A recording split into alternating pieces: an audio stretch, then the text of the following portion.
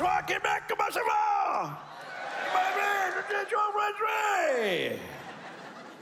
Je te fais faire Très content d'être ici, j'aime ça, Québec. J'ai du plaisir quand j'étais à Québec. Aujourd'hui, je me promenais d'ailleurs, j'étais content, j'étais pas loin de l'Assemblée nationale. Marchais d'un petit pas feutré, un gars complice. À un moment donné, il y a un député qui me reconnaît, il vient me voir, il dit Hey, t'es humoriste, toi, fais-moi une joke. J'ai dit T'es politicien, toi, fais-moi une grâce. voilà un type qui devrait plus socialiser avec moi. J'ai du fun. J'étais allé aux États-Unis cette semaine, traversé la frontière américaine. Quand je suis revenu au Canada, je passais par le bois. En rentrant, ils m'ont donné un chèque de 642 pièces. I'm for that. Puisque vous incitez, je vais vous parler de ma vie personnelle. Je suis rendu sur Tinder. Donc, je peux être lettre dans un rayon de 5 km. M'ennuie des tavernes. On a perdu nos tavernes. Ça me choque. On est rendu avec des micro-brasseries, toi. des micro-brasseries. Tu rentres là, ils ont de la bière aux fraises, de la bière au bleuet. Coudon, je suis dans un bar ou dans une boutique dans un jardin? C'est-tu pour boire ou mettre dans mon bain?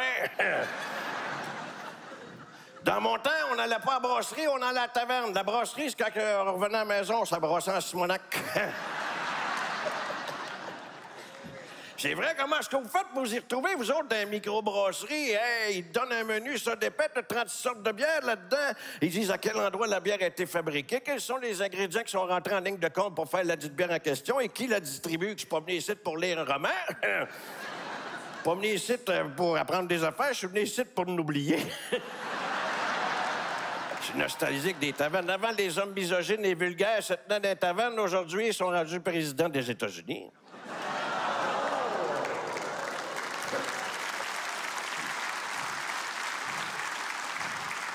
Faut dire qu'à cette époque galérienne, les femmes étaient interdites d'un taverne, hein? hein? La vraie question, c'est pas savoir pourquoi les femmes étaient interdites d'un taverne. La vraie question, c'est veux-tu même dire pourquoi une femme irait là? Hein? J'ai vu une petite hypothèse là-dessus. Les femmes voulaient y aller parce que ça leur était interdit. J'ai validé mon hypothèse avec ma femme Ginette. J'ai interdit l'accès à tondeuse le lundi, au vidange le mardi, par ma fourche 24 heures. Finalement, c'est une hypothèse de marde.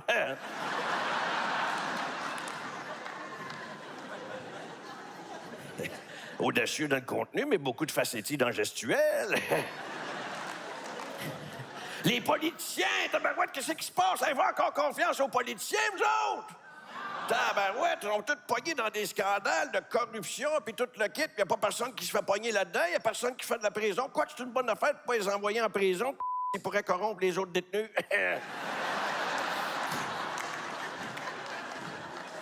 Pourquoi est-ce qu'ils mettent pas des barreaux directs les fenêtres de l'Assemblée nationale? On gagnerait du temps.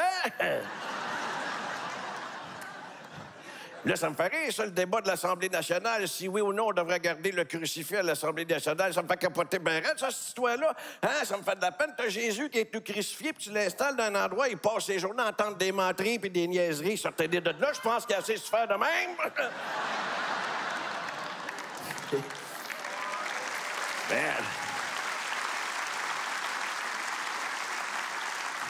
J'envoie, moi, des affaires. C'est un observateur parlant de politique. C'est le pote qui s'en vient légal. Ça, ça va être un autre problème pour les policiers, là, qui vont tenter de démasquer les chauffeurs qui conduisent sous l'effet de la marijuana. Comment identifier un automobiliste qui conduit sous l'effet de la marijuana? C'est simple. Quand tu l'arrêtes, s'il a les yeux plus rouges qu'il est gyrophare, t'embarques-les. la société malade. Des grillons, on est rendu avec des grillons partout. Ça me fait capoter, ça. Ils vendent ça en poudre les épiceries. Vous avez marqué des insectes, il y en a partout.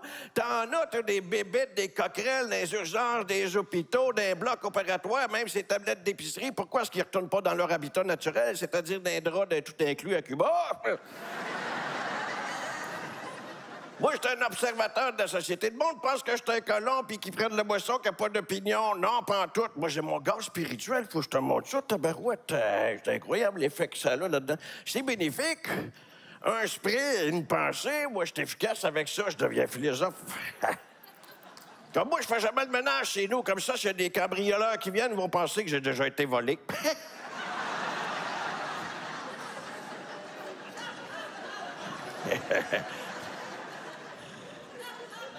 Un spray, une pensée. Les apiculteurs, là, on se pas de cachette, c'est des personnes qui ont acheté des habits d'escrime, mais ils ont pris trop grand. Et finalement, un spray, une pensée. Euh, J'ai marié ma femme Ginette pour le sexe, elle m'a marié pour l'argent. On est déçus tous les deux.